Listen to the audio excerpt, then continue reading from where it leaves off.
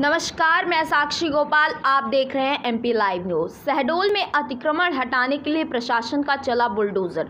प्रशासन ने की ताबड़तोड़ कार्यवाही। शहडोल ज़िले के नगर पालिका धनपुरी क्षेत्र में अतिक्रमणकारियों पर अतिक्रमण हटाने को लेकर ताबड़तोड़ कार्यवाही की गई।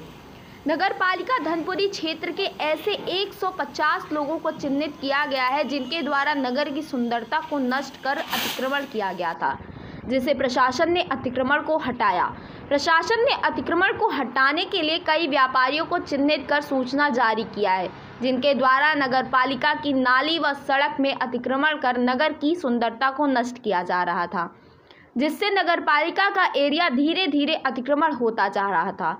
संदीप तिवारी, संभागीय ब्यूरो चीफ शहडोल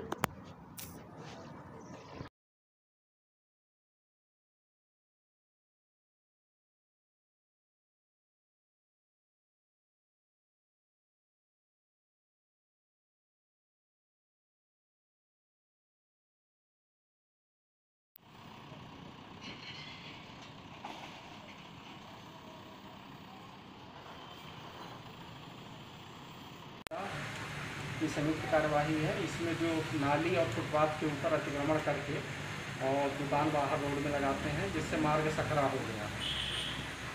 माननीय कलेक्टर महोदय का अभी नगर एक दिन नगर निरीक्षण हुआ है। उन्होंने वो काफ़ी इस स्थिति से नाराज़ थे।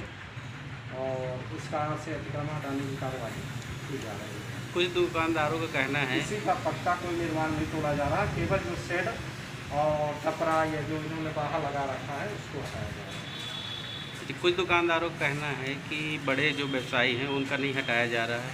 नहीं नहीं एक तरफ़ से सबकी कार्रवाई की जा रही है और तहसीलदार साहब साथ में है। आप तहसीलदार साहब की बाइक ले जो नाली के ऊपर पर जो भी अतिक्रमण है वो हटाया जाएगा।